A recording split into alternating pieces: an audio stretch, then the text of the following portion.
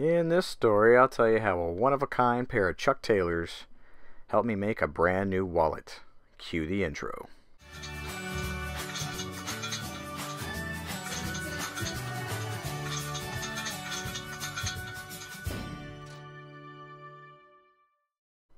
So the story begins with me and the guys from the Making Geeks podcast. We were recently invited to attend uh, the Making It 100 podcast event in Boston, Massachusetts. And while we were there, we got a tour of the Converse World Headquarters where the event was hosted. And it was amazing. Got to see the awesome sights. We got to hang out.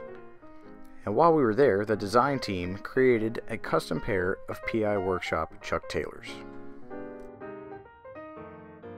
So I knew when I got home that I wanted to commemorate the event by making something from some of the materials that I had gathered while I was there. But what? I knew I needed a wallet.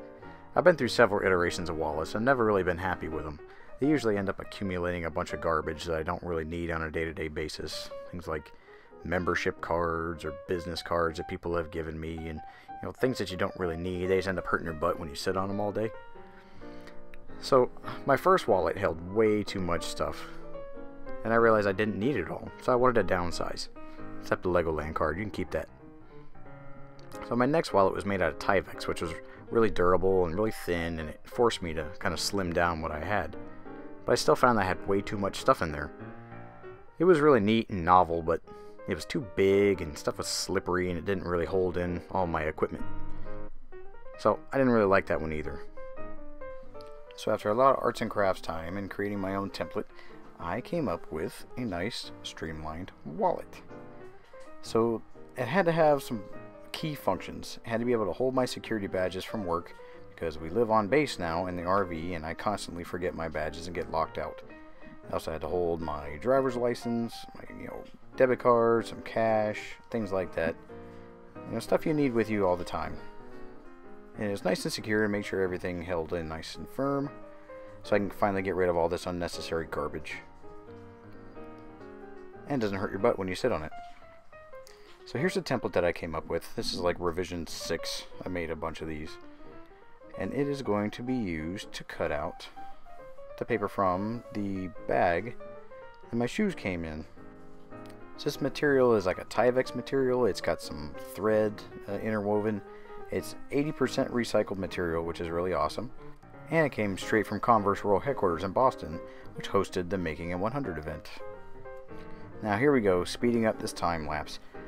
Cut up the sides of the bag because I really just needed the flat parts. I tried to get the Converse logo in as much as I can because, you know, this wallet meant something to me and I wanted to remember that event.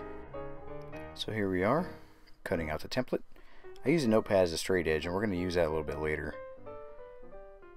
So set it on the bag and I try to get the Converse logo in there as best I can. Try to transfer that cool image. And you got to note the registration marks on your paper so you know where to fold. Uh, you know where to line up the additional structure pieces later. So I cut it out with a brand new X-Acto knife blade. It cut like butter. The material is very strong. It's got a really high tensile strength, but the X-Acto knife cut right through it.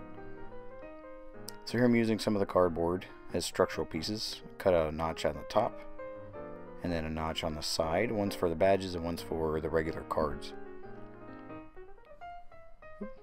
Now I tried some CA glue, some super glue, but it didn't work. Just some regular old, you know, Elmer's glue stick worked really, really well for this material, even with the cardboard. So this is the point where I really regret recording this in time lapse. Toward the end where you make the very specific folds and how you tuck the paper in uh, is not very intuitive. I had to go through a couple iterations before I did it right, and even on this last version I messed it up. So if you're interested in doing this and making this wallet, then let me know in the comments below and I'll send you the template and maybe we can schedule a Google Hangout for some arts and crafts time. And here it is, my recycled minimalistic wallet. Has a place for my ID, my cash, but more importantly, it has a place for my security badges, so I can get on and off base without having to get my wife to come rescue me because I forgot them at the house. It slides right in, holds it in place with no problem. Now I've been using this wallet for about a week now, and I was afraid that the fabric would loosen up and everything would fall out. But that's not the case. You know, everything has stayed nice and snug and stayed exactly where I want it. So it's been working out really, really well. You know, I sit in a cubicle all day and it doesn't hurt my butt sitting in my pocket, and it has everything I need right with me, including this goofy monkey-shaped multi-tool. So there you have it. All the requirements were met. Need to be able to hold badges, hold cash, hold cards, stay nice and secure, while having a very low footprint and forcing me to remove some of the excess garbage from my wallet. And I'd like to give a special thanks to the guys from the Making It podcast Bob, David, and Jimmy for giving us the chance to show up to the Making It 100 event and for being the real inspiration behind this awesome project. Thanks for stopping by the PI Workshop.